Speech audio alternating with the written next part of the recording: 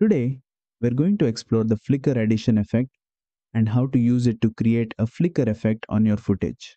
Whether you want to add a dramatic flicker, simulate a light going out, or create a strobe-like effect, this tutorial will show you how to use the various settings to get the perfect flicker.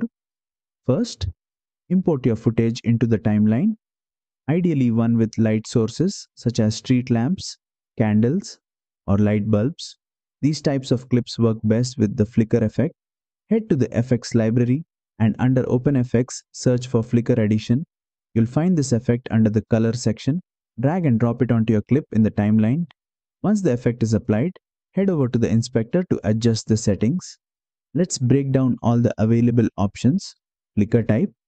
You can choose from several flicker types to control which aspect of the clip flickers, flicker lift, adjusts the shadows of the image, flicker gamma, affects the midtones, flicker gain, modifies the highlights, flicker vignette, adds flickering to the vignette or outer edges of the frame.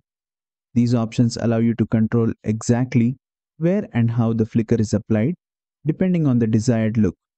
The range setting determines the intensity of the flicker across the image. You can adjust it to make the effect stronger or subtler depending on the mood you want to create. The speed setting controls how fast the flicker effect occurs.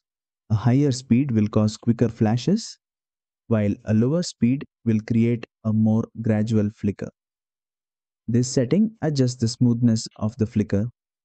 Lower values make the flicker more abrupt, while higher values make the flicker smoother and more gradual.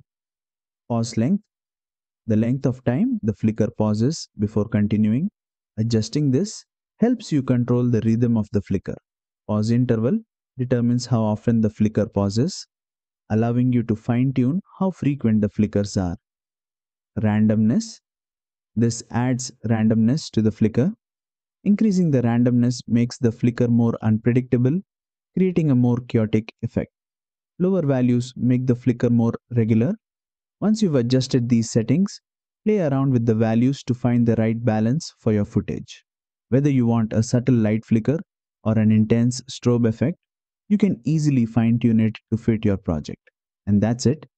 With just a few tweaks, you've created a flicker effect that's perfect for adding tension, drama, or a vintage feel to your footage. Don't forget to experiment with different flicker types and flicker quality settings to really make it unique. If this tutorial helped you, make sure to like the video, subscribe for more tips and hit the bell icon so you never miss a tutorial.